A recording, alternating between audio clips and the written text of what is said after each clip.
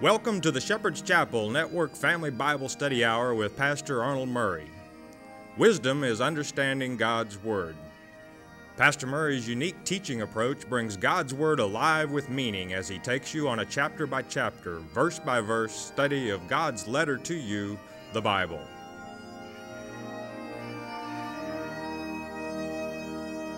And now here is Pastor Arnold Murray. This is that. Now, you've all heard that saying and you recognize it from Acts chapter 2. And you may turn there if you like and you're in the Word of God. It has to do with Pentecost Day. When they were speaking in that tongue, and you're all familiar with it, I'll just fill in just a little bit because that is not necessarily the subject. But as you will read in verses 6 and 7, every individual heard that tongue, that's to say, the tongue of Pentecost Day, in his own language, even in the dialect of the county within which he were, was born. Meaning that was the evidence of the presence of the Holy Spirit. And they continued on, and people, they were amazed. And I imagine that with the presence of the Holy Spirit in hearing this, they knew all these people were Nazarites that were speaking basically, that God had touched. And they commented, How are they talking in our tongue when they, when they come from, um, um, uh, the, uh, uh, from among the Nazarites? So, anyway, it would just be like someone in in um, Minnesota hearing me talk in their specific tongue, you know, dialect. Uh, or better yet, a citizen of Tokyo hearing. So, but that wasn't the major deal. That was the evidence of the Holy Spirit being present. And that's the way you can tell when you hear it in the tongue of the county that you were born, whatever your nationality, race, whatever. Now, Peter then begins to correct. And that's where we're going to pick up at because it's more important what they were saying, what they were talking about, than the fact that they could talk. So we're going to take a very close look at what it was they said because it is written and it's important and it's a day yet even future. So, uh, with that thought, pick it up with me if you will in verse 16, following those things that I'd stated, and Peter is saying, But this, there's nothing wrong with these people, but this is that which was spoken by the prophet Joel. It doesn't take a real bright person to understand then, well, you would go back to the minor prophets, and Joel would probably tell us what they were saying. At least he talked about it. 17, and it shall come to pass in the last days. And that's the day I want you to think about because we're going to understand what they did say, hinging on that day. Saith God, I will pour out my spirit upon all flesh, not just half of it, not just the male population, and your sons and your daughters shall prophesy, and your young men shall see visions and your old men shall dream dreams. And of course, this would be naturally with the presence of the Holy Spirit. And on my servants and on my handmaidens I will pour out in those days of my spirit, and they shall prophesy. And he continues on about the signs and the wonders, but skip to verse 21. And it shall come to pass, not maybe, it shall come to pass that whosoever shall call on the name of the Lord shall be saved. Now, that's kind of a key I want you to hang on to. From this is that. In other words, what it is, is after the false, the spurious Messiah appears on earth, many are going to be deceived. But there is a remnant. Uh, this is what Joel was talking about, and you may begin turning there if you like to the book of Joel and the minor prophets. This is what he was talking about. He first, and we're not going to go certainly through the entire book of Joel, but um, this is what he was talking about just following the book of Hosea was the locust army spoken of in Revelation chapter 9. We know when they're going to appear, it's going to be the last day. We know who their chief is, Apollyon and Abaddon, given both in the Greek and the Hebrew. So that you wouldn't miss who we're talking about, the destroyer. Who wants to destroy your soul? Satan does, of course. There's only one son of perdition, for he's the only one already sentenced to perish. So let that, you know, you'd be pretty far behind if you didn't know who he was. So, it tells of he, he leading his army, and they're not actually locusts, they're his people, and those that will follow him as he sets himself up as Jesus Christ, only he's a fake coming out the gate. And Joel continues with this, but I want to skip down, if I, and, and incidentally, it's written there, we, we have the advantage of that army of Satan's. Why? God is with us. God leads us. But it's important, again, that we know what was said that day. Because it's important to you, especially if you are part of that remnant that God intends to use. So we go to the second chapter of Joel. And I want to skip, if I may, all the way down to verse 28. We're going to pick it up about the same place where Peter started quoting it in the book of Acts, so that you have an overlap of both the Old and the New Testament. And it shall come to pass afterward. There's that saying again, that statement. After what? After the locust army, after Satan appears on earth, But I will pour out my spirit, that's the Holy Spirit, upon all flesh, and your sons and your daughters shall prophesy. Your old men shall dream dreams, and your young men shall see visions. And also upon the servants and upon the handmaidens in those days will I pour out my spirit. And he continues, And I will show wonders in the heavens and in the earth, blood and fire and pillars of smoke. Many of you have observed some of these very divine things, I feel, that have transpired in this generation, the generation of the fig tree. That is to say, after Israel became a nation in 48, both the good and the bad figs were sown there. And uh, which we are not to judge one way or the other, but to follow God's word. 31 The sun shall be turned into darkness and the moon into blood, and before the great day and great and the terrible day of the Lord come. Second Advent. Now, we know that the moon has been turned to red in last year's Passover, in total eclipse. The actual moon that determines the high day of Christianity, Passover and the very high day in which the moon declares the Feast of Tabernacles, blood red. So you need to get your head out of the sand and observe some of the, the signs that God is bringing to pass. That was exactly six months later. And exactly six months after that, on Purim this year, it's going to go red again. And if that's not good for enough for you, six months later, it's going to go red again giving us about three groups of six periods of sixes there. You know, God has a way of ringing our bell occasionally and saying, Hello, are you there? So we see many of these things as they come to pass. Verse 32, and this is where this is why I wanted to bring you here. And it shall come to pass that whosoever shall call on the name of the Lord shall be delivered. For in Mount Zion and in Jerusalem shall be deliverance, as the Lord hath said, and in the remnant, underline that in your mind, in the remnant whom the Lord shall call. Now, many of you have known there was more to God's word than you'd been taught since you were a small child. God does call that remnant. He has a way of kind of getting their attention of creating a hunger for the Word of God.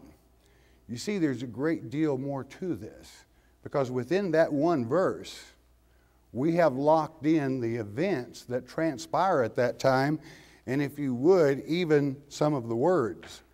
Because God loves all his children, and as it is written in 2 Peter chapter 3, It is God's will that all come to repentance. He is long suffering. That means He's very patient. And He's got time for His teachers to teach His word, not theirs, not the word of some church system, but the word of God. So within this, we draw clues, and I want Isaiah spoke of it. If you would, let's go to the 11th chapter of Isaiah. What was spoken that day? That day that he stated would come, that whosoever, under the seed planting and the teaching of those that God would call, which is to say, his election.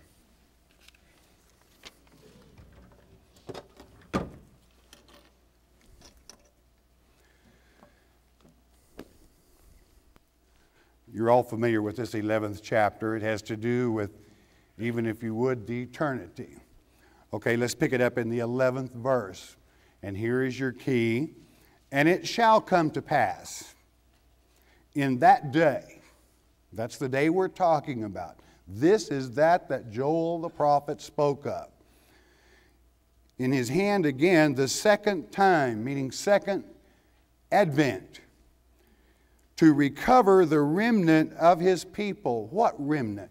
The remnant that are not deceived by Antichrist, the remnant that is not deceived by the spurious Messiah, which shall be left from Assyria and from Egypt and from Pathros and from uh, Cush and from Elam and from Shinar and from Hamath and from the islands of the sea. Do you know what is given there?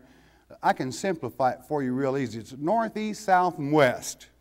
That's the direction geographically that these locations were from the writer, meaning from everywhere, wherever they're scattered.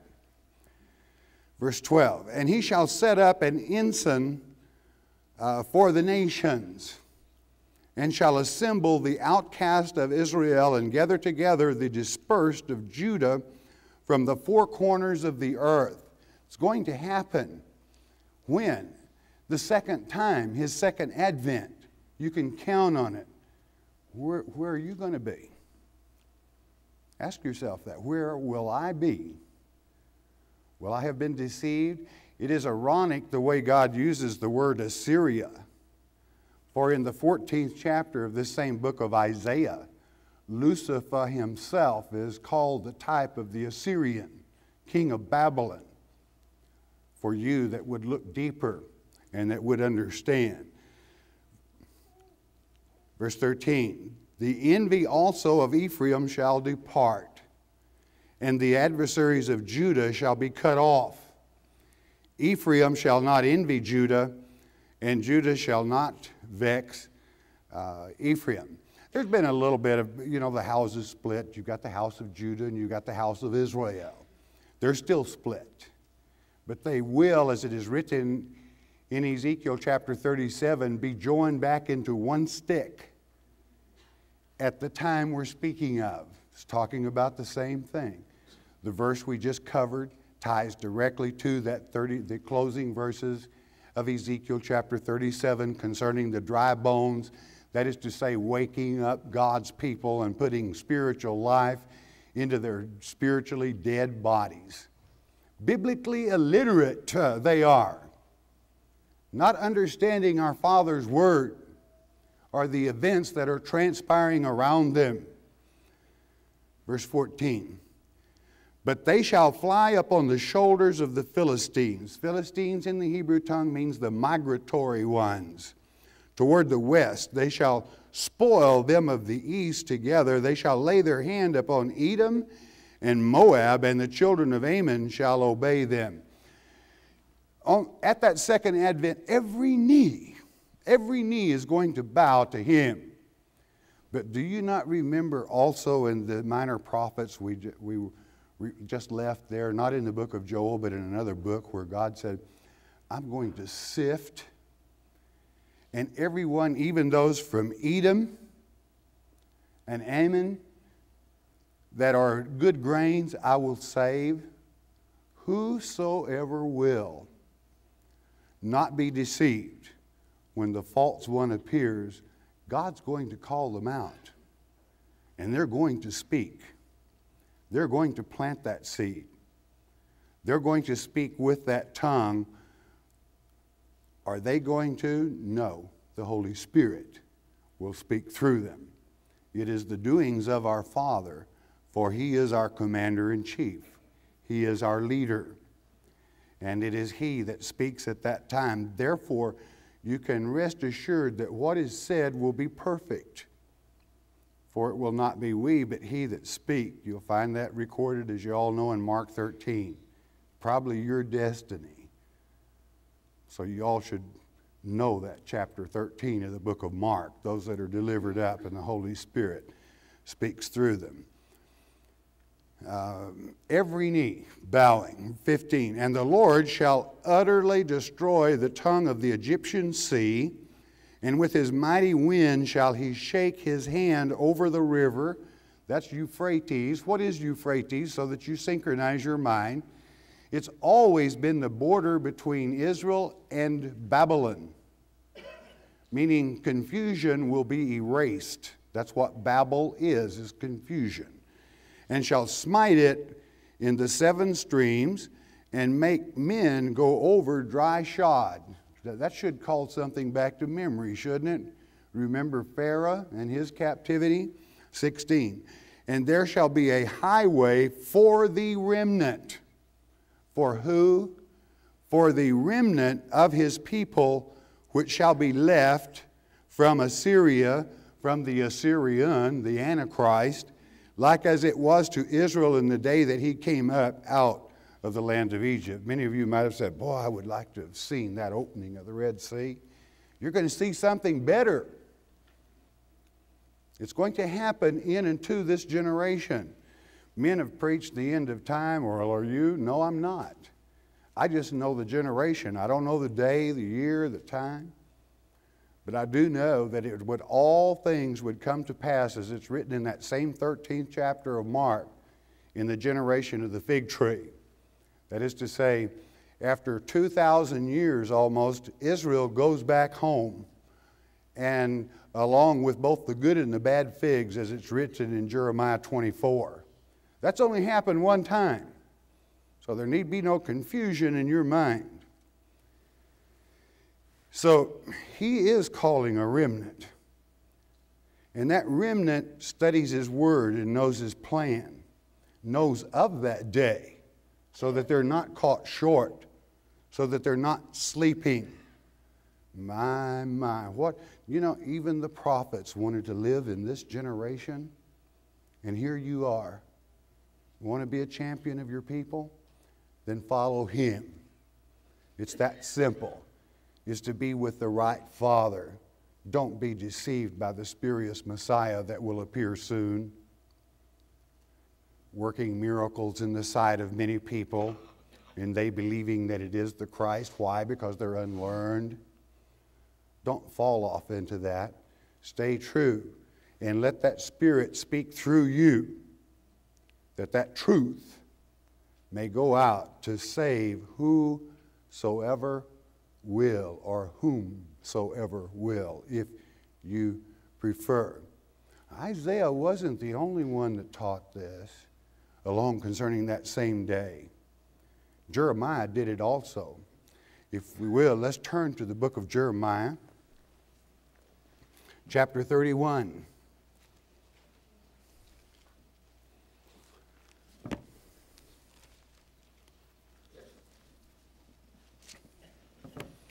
Jeremiah chapter 31.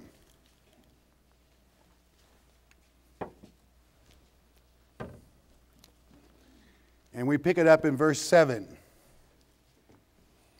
For thus saith the Lord, sing with gladness for Jacob, and shout among the chief of the nations.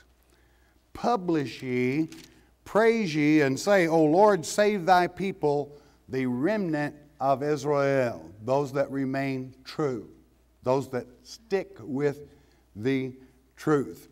Did he say cry? No, he said sing. That's, that's a form of rejoicing, if you would. Verse 8 Behold, I will bring them from the north country. Which way did the ten tribes go? They went north. They went over the Caucasus Mountains. They later settled Europe, many later migrating to this great nation. And you know something? They don't even know who they are today. Many people can't count their generation back past one or two, three, maybe at the most, to know what the Word of God means to them. But it does mean salvation to everybody, whosoever will. But some of you have a destiny.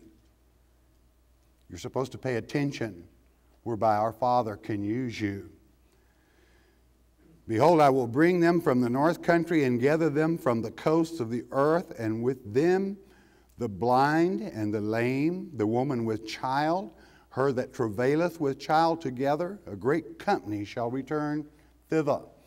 This has to do with the labor pains or the birth pains of a new age. You want to be a part of it? Not the new age movement you hear about in the world, but of your Father. We're talking about the millennium. Verse 9 They shall come with weeping and with supplication will I lead them. I will cause them to walk by the rivers of waters. That's the waters of life. Christ is that in a straight way wherein they shall not stumble. For I am a father to Israel, and Ephraim is my firstborn. Ephraim is always referred to as the ten tribes because he was the larger of the tribes. Do you want to know how you find the truth? Listen, verse 10.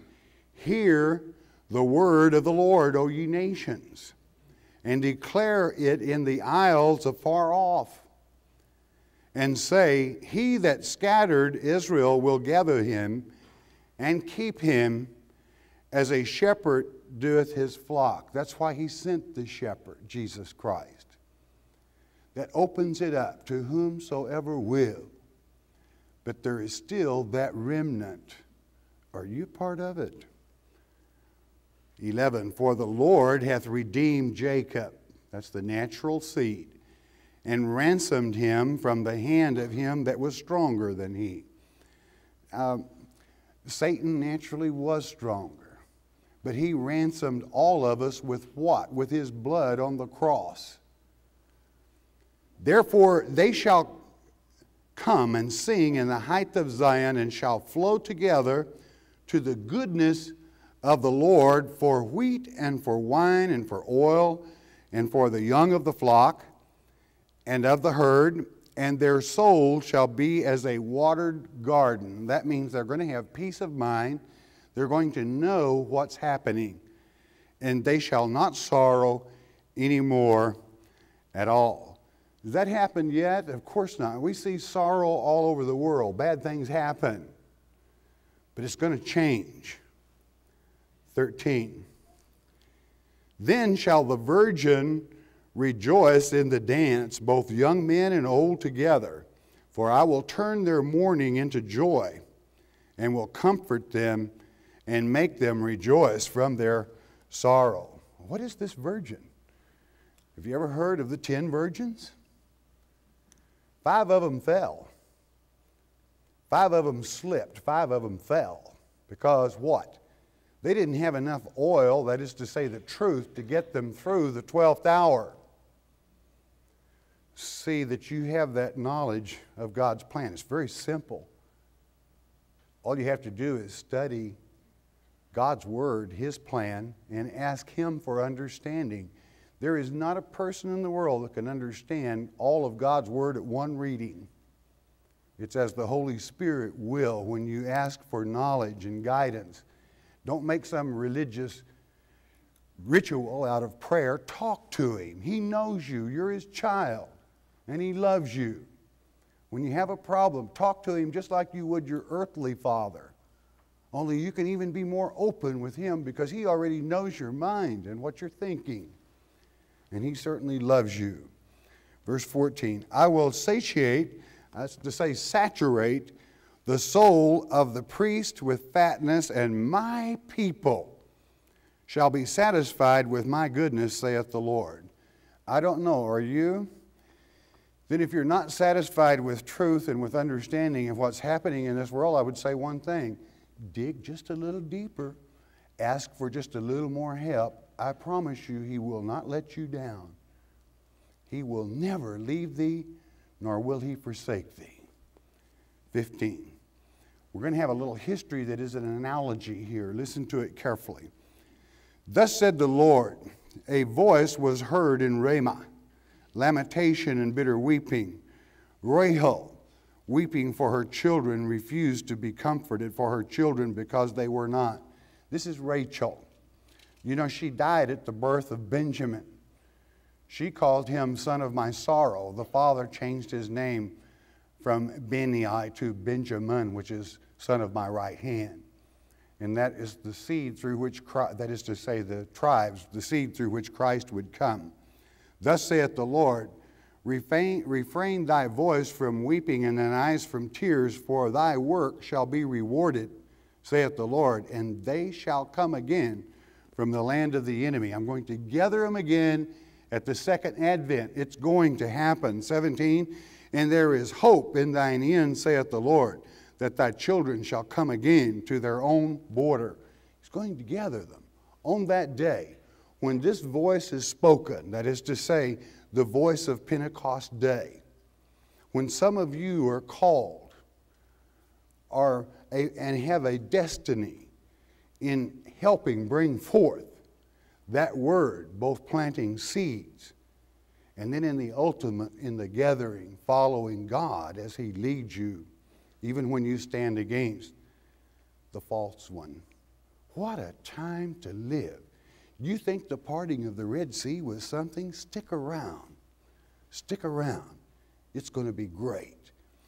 Am I saying the ocean's going to be parted? No, it's a spiritual thing of the weight and the almighty hand of God as He brings His full plan, consummates it before our very eyes. You got a part in it? I think so. I really do, or I don't think you would be here. I don't think it's any accident that you're here. God called whom He will to serve Him. Let Him know you love Him for that. Well, what can we do now? We've read uh, Jeremiah, great prophet, Isaiah, great prophet, talking about that day, that day in which that word was spoken. Let's go back to the minor prophets for a moment. Let's go back to Micah in the minor prophets. Just a little bit past Joel, where we started there. Joel, a little bit of Amos, Obadiah, Jonah, and then Micah. Let's go to Micah, the fourth chapter. It's not going to be a long lecture today. Just enjoy the Word of God. Let's pick it up in verse 7 so that we get a little different flavor of that day. Verse 7, Micah chapter 4. And I will make her that halteth a remnant. Those that a lot of people would call lame. And I'm going to tell you something, a lot of them will call you lame brained for not following the way they follow. But always follow the Word of God, never follow a man. Follow God and His Word. And her that was cast off a strong nation, and the Lord shall reign over them in Mount Zion from henceforth even forever. Do you think that's happened yet? No, it hasn't. But it's going to on that day that we're speaking of. It's going to happen.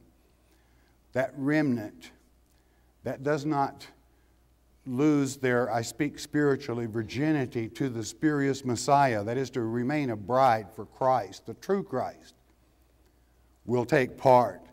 Eight, O thou, O tower of the flock, the stronghold of the daughter of Zion, unto thee shall it come, even the first dominion, the kingdom shall come to the daughter of Jerusalem. And this has to do with the Tower of Ophel with the Key of David, another subject for another time. The, the remnant, think of it. Nine. Now, why dost thou cry out aloud? Is there no king in thee? Is thy counselor perished? What's a counselor? It's where you get your advice. Yes, they crucified him. No, they didn't. They only thought they brought his death, though they did crucify him, he lives. These were the words of Christ to uh, Mary of Magdalena when he, Woman, why weepest thou? He had just paid the price that gives us salvation for believing. He did not perish. Our counselor is still with us, both in spirit and through this word. For pangs have taken thee as a woman in travail, meaning it's the birth of a new age. Do you got a part in it? God ever speak to you and say, there's more to this than people are telling you? Then study it for yourself. Dig into it. Verse 10 Be it pain and labor to bring forth, O daughter of Zion, like a woman in travail, for now shalt thou go forth out of the city, and thou shalt dwell in the field, and thou shalt go even to Babylon. You're, you're going to go through Babylon. You might as well know that. That means the spurious Messiah here, the king of Babylon of the great book of Revelation. But hey, he's no problem to us. We have power through Christ over him. Thou there shalt thou be delivered. There the Lord shall redeem thee from the hand of thine enemies. You don't have a thing to worry about when you understand the plan of God. Boy, what a time to serve Him. A time of action, giving God's Word a meaning in your heart.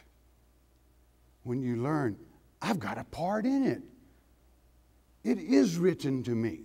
It's the instructions that God sent to me to know what it is that I'm to do for Him. And then God pours all His blessings out upon you when maybe before your life was just knocks and bumps and seemed like nothing ever quite worked out right. You serve Him, and the bumps won't be any problem at all. 11. Now also many nations are gathered against thee that say, let her be defiled, and let our eye look upon Zion. If you think for one moment when you stand against the false Messiah that you're going to be popular with a lot of people, you're mistaken. Because they're going to think he's Christ. And you can imagine what they will think of you when you say, No, he isn't. He's not the true Messiah, the one that died for us on the cross and yet lives but God will always protect you. And your rewards in the eternity are fantastic. 12. But they know not the thoughts of the Lord, neither understand they his counsel. You see, we have a counselor and we have a king, and that king is Yeshua Messiah, Jesus the Christ. For he shall gather them as the sheaves into the floor. Again, that is the gathering of whosoever will. But there are some that have an opportunity to serve him even before that time. Arise and thresh, O daughter of Zion, for I will make thee, I will make thine horn iron. Horn is symbol of power. I will make you a powerful person, and I will make thy hooves brass, and thou shalt beat in pieces many people, and I will consecrate their gain unto the Lord. And their substance unto the Lord of the whole earth. Thrash. What is thrash? What is it talking about? You separate the wheat from the shaft. You want to be part of a threshing crew? It isn't the painful thing in which way it comes forth, but to plant the truth and give people hope, to give them something to live for rather than from one paycheck to the next, barely getting by, but to have a purpose and a destiny, and to know that the Creator of all things is in your life, and that you are His servant, willing to serve Him as He has spoken, as He has written, sending this set of instructions, telling us how to operate these little things and be successful. Or on the other hand, we can listen to man and end up in the ditch, probably. I would prefer to have peace of mind and be pleasing to God win, lose, or draw. Whatever trouble comes up. You know, trouble, when you are in the Father's plan, trouble's not a problem to you, it's just a little challenge. Just a little challenge, something to take care of. It's, it, it's an exercise, it keeps you sharp. So let God come into your life. Now, we started in the New Testament. I'm going to finish in the New Testament. We're going to go to the book of Romans. We're going to go to Paul to conclude. Book of Romans, chapter 9, 10 rather, chapter 10. Going to pick it up with verse 13. You see, it doesn't matter whether you're in the Old or the New Testament when you're talking about that day, it's all the same.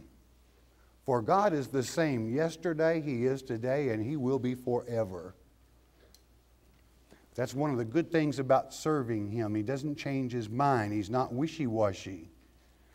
He gives you stability in your life. Verse 13 For whosoever shall call upon the name of the Lord shall be saved It comes from Joel chapter 2, verse 32, that, that that was spoken on that day for your documentation. 14. How then shall they call on him in whom they have not believed? How could they? And how shall they believe in him of whom they have not heard? If they haven't heard of him, if they haven't heard the false Christ is coming first, how are they going to stay away from him?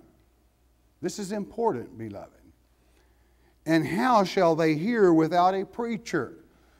A preacher means a teacher. Has God called you to plant seeds, maybe to help someone that is down? Someone that maybe doesn't know where the dead are, that you could help them understand life? That you could comfort them? That God could use you as a tool? How are they going to know? It's real easy for us to say, look at those poor people that never crack open the Word of God to learn what's happening in this world. Well, whose fault is it?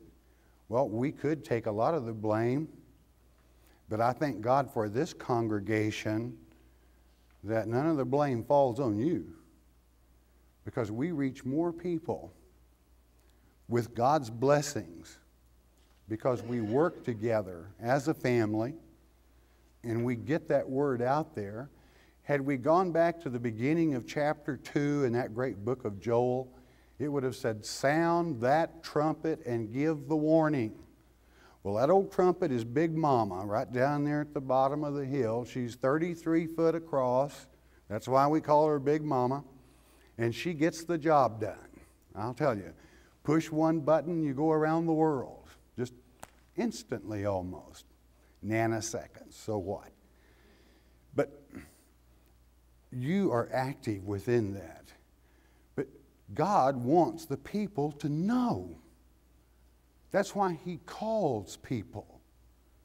That's why He touches hearts. Because you see, He knows you. He knows whether He can count on you. He knows whether if some little thing goes wrong, you're going to fall apart at the seams. He knows you got what it takes. You're can-do type people because you trust Him and you believe. Stuff goes wrong at work. So what? You're a child of God. Feel sorry for the person that isn't and work it out. I don't mean for you to be a, uh, a foot wipe place, what do you call it, a doormat for, doormat, that's it. I don't want you to be a doormat for anybody, but you're wise enough you don't have to be, all right? Help them. Verse 15, and how shall they preach except they be sent? Unless God sends you, I don't care how good a preacher you are, you're not going to accomplish anything. What is a sent one? That's what the word apostle means. When you say apostle, that's all you're saying is sent one. You know, the other day when you witnessed to that person and you thought, well, how come me to do that? They asked, and I just kind of went on there, just don't go overboard. You think God didn't know about that? You think you got some little corner over here in your life that He's not aware of? He knew. He sent you. Possibly. Think about it. He uses His children. And it's not all going to wait right until the last day. And how shall they preach except they be sent, as it is written? How beautiful are the feet of them that preach the gospel of peace and bring glad tidings of good things. And of course, we have that in Isaiah, that's from Isaiah again, 16. But they have not all obeyed the gospel. For Esaias, which is Greek for Isaiah in the Hebrew, saith, Lord, who hath believed our report? 17. So then faith cometh by hearing, and hearing by the word of God. Not the word of men. Not, you never follow Arnold Murray. Follow the word of God. And don't you ever try to make yourself some uh, little God in the world. Because you're a servant of the living God, let Him send you. Well, how can I know if you're successful? If you're successful, God sent you. And that, that won't hold up in every case because sometimes you're planting a seed that God didn't intend that person hear it until you're delivered up to witness. And then that person says, Aha, they told me this was going to happen, and now it is. I believe. And I think that is the group that falls into the 144. For they did not remain virgins, as it is written in Ezekiel 44, but went astray when Israel did for a short period, but come out. So those things are God's business, not ours. So, what was spoken on that day? The truth of what's going to happen in this day, in this generation. The truth about that locust army. If you need a little refreshing on that, go back and start reading the four seasons of the locust in chapter 1. And then when they come to maturity, in chapter 2, you're to give the warning when that army comes, and you don't have to worry about them because God is causing it to come to pass to test the people. But you're still to remain strong and stand against it. And we already have the victory. That's that day. That's when that word goes forth. Whereby, what does it accomplish? Whosoever. Don't feel sorry for them if they've never heard the truth. That is to, I, I, I, let me rephrase that. Don't blame them, but give them the truth if God sends you. Think about it, pray about it. Don't become some religious fanatic that goes down on the sidewalk and says, Hey, stop, stop, I've got some blaring news you've got to hear. What are they going to think? Here is a nut. This person has lost their go, they got their gourd all stirred up, you know. You always protect your credentials, your credibility. But you know when God sends you. That's what he's talking about. When I send you, you're going to know it in your heart and in your mind. And it's going to pour forth like honey over the buds of their mind. And they're going to know it's truth. And I heard it not from man, but from God's Word. Think about it. God is dealing with a people today, and you are that people. Think about it. Father, we thank you for the privilege of serving you, for it is a privilege indeed. Be with everyone this day in that service through the hard and through the easy, Father. We give you the thanks and the blessings and the praise. In Yeshua Jesus' precious name, amen. The Mark of the Beast on CD is our free introductory offer to you. What is the Mark of the Beast? Many false teachers would have you believe it will be a tattoo on your forehead or a computer chip implanted under your skin. It is getting late in the game. You need to know what the mark of the beast is. As it's written in Revelation chapter 13, verse 8, many will be deceived.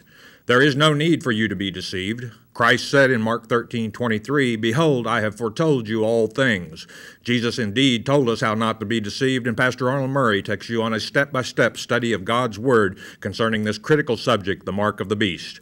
The telephone call is free. The CD is free. We don't even ask for the shipping and handling. It is free as well. All you need to do is call 800 643 4645 to request your one time, one per household copy of The Mark of the Beast. You may also request your free CD by mailing your request to Shepherd's Chapel, Post Office Box 416, Gravette, Arkansas 72736. Don't be deceived by Satan. Okay, any questions or comment um, from on that subject or any other subject. And if I don't know the answer, I'll make something up quick. I'm, I jest. yes, you were first. In Isaiah 19, it gives the, uh, in the latter part of the chapter, it mentions that Yahweh is going to build a highway from Egypt to Assyria. And I think it's in the same time frame the subject matter that you were picking on, but I noticed that you didn't cover it. You covered Isaiah 13, but you didn't get that part from time, 19. I just wondered if, um, if you uh, believe that that is uh, also going to be fulfilled in the same time frame. It still applies. If you went to Zechariah 14, you'd know what that highway was. Think about your time sequence and think for a moment about Zechariah 14. That's where Christ's feet touches on the Mount of Olives and what happens? He prepares a way right to the east gate, right where Satan's sitting as the spurious Messiah, as it's written in uh, 2 Thessalonians chapter 2, verse uh, 5 and 6. You bet, it's part of it. And, and there was somebody else, right? Yes. Welcome from Minnesota. How did you? It's cold up in Minneapolis, isn't it? Well, great. It's, I'm glad you all are getting thawed out. I'm sorry. Go, go ahead. Repeat it. He asked, He said in Minneapolis, like there's groups that gather that study with the chapel that have their own little Bible lessons around, and he said sometimes they come up with something. They'll take one thing and overplay it and kind of get off track as far as he's concerned. And, and we're not judging them. Don't misunderstand. But that's spiritual discernment. If something doesn't feel right or seem right and you can't back it up in God's Word, honey, it ain't right. All right? I mean, it doesn't take a smart person to figure that out. Never follow an individual's words, follow God's words, and you'll never get in trouble. Okay? I can say that's straight from our Father. That's the way He got my attention long ago. And that was my question. And he's, I thought, that's simple enough. Yeah, I can handle that. okay, I'm still missing somebody right in here was first one with their hand up and well, I guess I got them already. Yes. The 10 virgins, five made it and five failed. What does that mean to us today? It, it means their lamps and what they were filled with, because that's what they ran out of. And they were Christians because they made it all the way to midnight which is when the wedding was, practically, almost. Oil, mentioned there, is El Ayah. And if anyone's ever studied Hebrew, the name olive oil should really unwind your cord. You know, because you've got both El, God, Eh.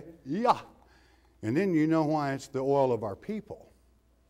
And it symbolizes Go for, with me for a moment to Zechariah chapter 4, the seven stemmed candle with the olive oil reservoirs. How did that oil flow? Without the help of man, but by the Holy Spirit. And I'm not talking down to you, I just want to kind of show you how important, because that oil symbolizes truth. It wasn't olive oil itself they were out of, they hadn't dug into the truth enough. Okay? They came up short and probably worshiped probably were already with child when, and no longer virgins when the true husband showed up, okay? That's what it means to us. Don't be deceived. Mm-hmm. Five, five is grace, okay? And by grace, stick with His word. Those five didn't? Anyone else? Question is, why do sometimes I say that the children of God had a, have a 10 day longer period concerning the two witnesses than Satan does as far as who arrives first? Satan's time, example in Revelation 13 4, is given in months, 42 months. And many people say, yeah, that's 1,260 days, sure enough. Well, it's according to whether it's deus, sun, solar days, or moons, because moons don't make 30 solar days. Okay? So the children, however, is always of God or is always given in days because we're supposed to use the solar calendar. That's why our Passover is the same year in, year out, and you'll see others fluctuate by sabbatical months in various years. But ours always hangs right there on that solar calendar before, because it's exact. So 260 days or if we break that back against 42 months, it's 10 days longer. Okay? You lose that much by going by moons, not to mention your soul you lose if you go by Satan's moons. Okay? It's simply the difference in a solar day of months and a lunar day of months. Okay? The comment was from Minneapolis, where we're on the Great Channel 23, isn't it? uh, about four or five hours a night, something like that, four hours a night, I guess it is, that she enjoys. You see, about, we didn't tell you, I don't think, but about a month ago, we started taping these lectures on the weekend and playing them on the weekend. And pretty soon, I, I don't know, David maybe could tell us, but you see these light receptacles up there? They were put up there because we knew probably someday we would be driven to television. But you're going to have some remote things over here and over there, and they're going to be turning around and smiling at you. And they'll, you'll notice they'll follow me as I go, a couple of them, and then they'll have the one back there. So if you see it, if you see one of those turn on you, look holy. I jest. You already look holy just like you are, all right? Thank you. I appreciate that. That's kind of like a second witness because I had to cut loose with, we had to cut loose with a pretty good sized piece of chain. Chain, change. It wasn't change, it was big bucks, okay, for that kind of equipment. But that's, that's a witness that the technicians and myself needed to say, What did you say? Go for it. Go for it. All right, we're going to do it. I think you're going to stand for me to hear you, dear. In the book of Exodus, I don't remember the town, I should have written it down, I'm sorry. But there was one of the towns that they went by, and it said it was the 12 fountains. The 12 fountains, okay. I'm working on it. Go ahead. Was the water sweet or bitter? Oh, okay. Go ahead. Go ahead, honey. 12 fountains, and, and the reason I didn't have this question organized is because it wasn't until something you said today that that rang a bell to remind me of that when I was covering it. Mm -hmm. And I was just wondering, because I was going back and check it out, what does that 12 fountains symbolize to us? They stopped and there was 12 fountains in this town. You know, so help me, that will not come through for me, but it, it's like the 12 manner of leaves, though, and, and of course the fountain. I'm, I'm going to be teaching on that at Passover. Genesis 1:46, the first 6 chapters in God's word. The world that was. Did you realize there was a world age before this one? Same old world, different age. The creation itself. When were the races created? You see, all the races were created separately, and you'll find that documented in these particular CDs. How and what was the sin in the garden? It will be discussed in this series also. This is a must for the serious Bible scholar. For if you do not understand how it was in the beginning, you certainly will never understand the end. I think you will find this series very rewarding and certainly will answer questions that no doubt you have always wondered about. Genesis 1:46. Hey, I know you're going to enjoy this series. The Strong's Exhaustive Concordance of the Bible is an invaluable tool to the serious Bible student. The Strong's Concordance lists every word used in the Bible and every passage where the word utilized may be found in the Scriptures. With the assistance of a reference numbering system, the English reader may easily translate any word back to the original Hebrew, Chaldee, or Greek in which God's Word was written. The Companion Bible is a unique study Bible. In addition to the text of the King James Version Bible, an extra wide margin contains a wealth of information not found in other Bibles. A system of structures or outlines employed by the Companion Bible will allow the readers to rightly divide the Bible. The use of these structures help the reader follow the subject matter, and therefore they are critical to an understanding of God's Word. The 198 appendixes found in the Bible cover a wide variety of topics and information which will enlighten your studies. The Companion Bible and Strong's Concordance are a must for the serious Bible student. The book Traditions of Glastonbury by E. Raymond Capt is our item number six. The suggested donation is $12. Mr. Capt is a biblical archaeologist and historian. This book historically documents the whereabouts of our Lord and Savior Jesus Christ from his early teens until he was approximately 30 years of age. The traditions of Glastonbury records facts that prove Jesus and Mary's uncle, Joseph of Arimathea, traveled to the British Isles. The Shepherd's Chapel also makes this documentary available on DVD video. The Traditions of Glastonbury on DVD is our item 46651, and the suggested donation is $25. Whether you order the book or the DV, you will enjoy sharing this fascinating work with family and friends over and over again. Order your copy of Traditions of Glastonbury today. Hearing God's Word with understanding will change your life. We hope you have enjoyed studying God's Word here on the Shepherd's Chapel Family Bible Study Hour with Pastor Arnold Murray. If you would like to receive more information concerning Shepherd's Chapel, you may request our free introductory offer.